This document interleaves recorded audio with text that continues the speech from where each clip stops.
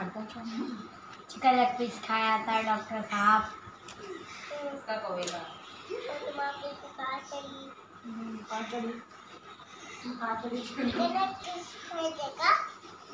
सुबह में मैंने दो चार कैंडी खाई थी और एक प्लेट और है ना मैंने दस कोल्ड ड्रिंक पिए थे स्प्राइट वाले और कुछ और एक गिलास पानी पिया था कोल्ड ड्रिंक वाला और कैबिनेट किया फिर मम्मी की मम्मी को जाके बोला एक दूध टोस लगा दो।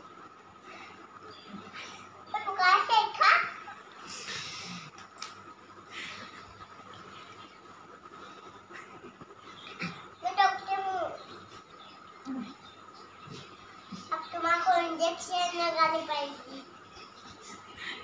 अरे अरे! अरे यहाँ लगाते